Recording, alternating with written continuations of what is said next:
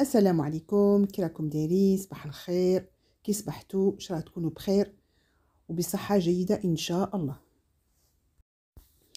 جبتكم هاد لا روسيت خفيفه ظريفه شابه زوينه سهله وبنينه تاع لو gâteau aux pommes alors euh, alors moi j'avais comment j'ai utilisé les moules individuels mais si vous n'avez pas il n'y a pas de souci euh, un grand moule euh, fera l'affaire hein.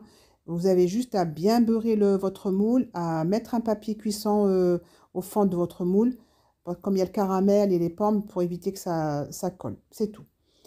Euh, comme vous voyez, ben, j'ai commencé à préparer mon caramel. Euh, j'ai mis le, le moule, les moules, et j'ai préparé aussi, bon, j'ai épluché les pommes, je les ai tranchées et j'ai mis dans un saladier, je les ai mis dans un saladier avec un jus de citron, jus d'un citron, euh, un sachet euh, voilà, de sucre vanillé et, euh, et, un peu de cannelle. Donc là, je vous explique vite fait, hein, mais après, je vous laisse regarder, tout est devant vous. Là, j'ai presque fini mon caramel.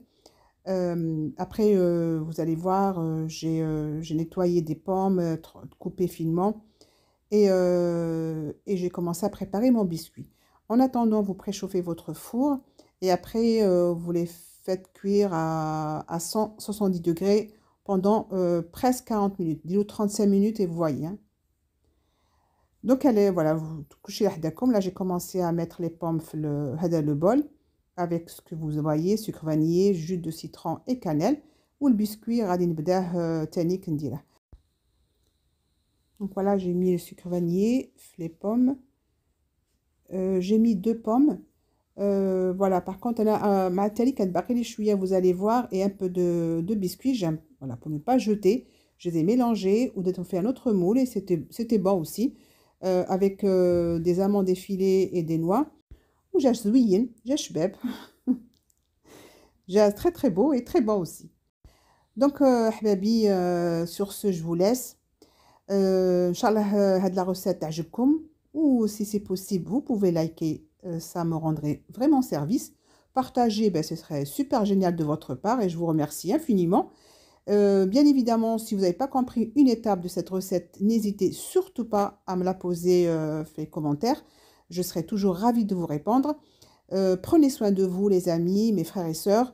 je tiens quand même à remercier mes, mes, fidèles abonnés, toujours avec moi. Et ça, c'est vraiment super gentil de votre part. Merci beaucoup et je souhaite aussi la bienvenue aux nouveaux.